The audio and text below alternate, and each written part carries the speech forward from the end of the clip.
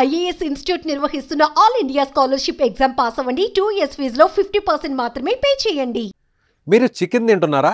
అయితే కాస్త జాగ్రత్తగా ఉండండి. మీరు ఇష్టంగా తినే కోడి కూరతో మీ ఆరోగ్యం పాడవచ్చు. వారానికి ఒకరోజే అది కూడా సండేనే కదా అని తిన్నా కూడా అనారోగ్యానికి గురి కావచ్చు. ముక్క లేనిదే ముద్ద దిగని వారంతా ఒక్కసారి ఈ వీడియో చూడండి. తర్వాత బాయిలర్ కోడిని ఎలా తినాలో తెలుసుకోండి. అసలు తినాలో వద్దో తినకూడదో కూడా నిర్ణయించుకోండి. చికెన్ అంటే ఎవరికి ఇష్టం ఉండదు? చాలామందికి ఇష్టం. చిన్నపిల్లల నుంచి ముసలి వాళ్ళ వరకు ఎక్కువగా ఇష్టపడే నాన్ వెజ్ చికెన్. కొందరు వారానికి రెండు మూడు సార్లు తింటే మరికొందరు డైలీ తమ కంచంలో పెట్టుకొని లాగిచ్చేస్తుంటారు.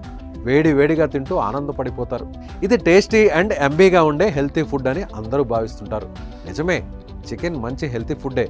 ఎక్కువగా పోషకాలు ఉండే ఆహారమే. కానీ ఆరోగ్యవంతమైన కోడి మాంసంతోనే మాత్రమే మనకు లాభం.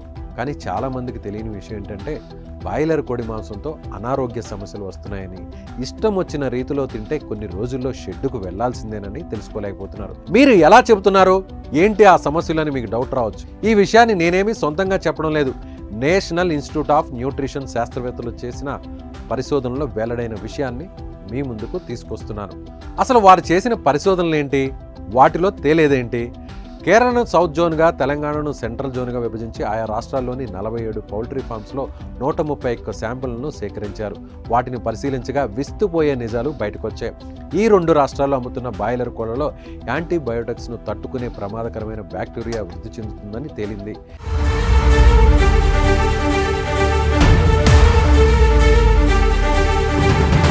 ఈ కోళ్ళ రెట్టలో విరోచనాలకు కారణమయ్యే ఈకోలి చర్మ వ్యాధులకు కారణమయ్యే స్టెఫిలోకాకస్ అరియస్తో పాటుగా సుడోమోనాస్ ఎరుగినోసా బ్యాక్టీరియోడ్స్ ఫ్రాజిల్స్ వంటి హానికరమైన బ్యాక్టీరియా ఆనవాళ్ళను సైంటిస్టులు గుర్తించారు. ఈ బ్యాక్టీరియా మానవుల్లో యాంటీబయోటిక్ ట్రీట్మెంట్కు సవాల్ విసురుతోంది. దీనికి కారణం ఏంటంటే పౌల్ట్రీ ఫామ్స్లో కోళ్ళకు అవసరం ఉన్నా లేకపోయినా యాంటీబయోటిక్స్ను విచక్షణారహితంగా ఇవ్వడమే. కోళ్ళు త్వరగా పెరిగేందుకు రోగాల బారిన పడి చనిపోకుండా వాటికి యాంటీబయోటిక్స్ ఇస్తుంటారు. దీంతో ఏఎంఆర్ అంటే యాంటీ మైక్రోబయల్ రెసిస్టెన్స్ వృద్ధికి కారణమవుతుంది. మరి ఈ చికెన్ తింటే మనకేమవుతుంది? ఇలాంటి చికెన్ను మనం తీసుకుంటే ఏఎంఆర్ జన్యు మనుషుల్లోనూ వృద్ధి చెందే ప్రమాదం ఉంది. జన్యు మనుషుల్లో వృద్ధి చెందితే న్యూమోనియా కలరా ఫుడ్ పాయిజనింగ్ వంటి తీవ్రమైన అనారోగ్యానికి గురిచేసి ట్రీట్మెంట్ చాలా కష్టమవుతుంది. అయితే సరిగా ఉడికించకుండా తింటేనే ఈ ప్రమాదం ఎక్కువ. అధిక ఉష్ణోగ్రతలో ఉడికించడం ద్వారా వీటిలో తొంభై ఐదు శాతం బ్యాక్టీరియా నాశనం అవ్వడం మాత్రం కాస్త ఊరటనిచ్చే విషయం.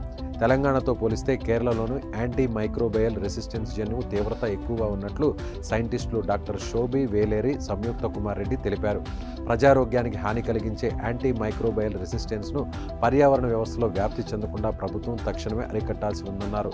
బాయిలర్ కోడి కంటే నాటుకోడి ఆరోగ్యానికి తగిన పోషకాలను అంది అందిస్తుందని నిపుణులు చెబుతున్నమాట కానీ ప్రస్తుతం ప్రజలంతా బ్రాయిలర్ కోడిని తినేందుకు ఆసక్తి చూపుతున్నారు. అయితే శాస్త్రవేత్తలు చెబుతున్నట్టు ప్రభుత్వం వీటిపై చర్యలు తప్పక తీసుకోవాలి.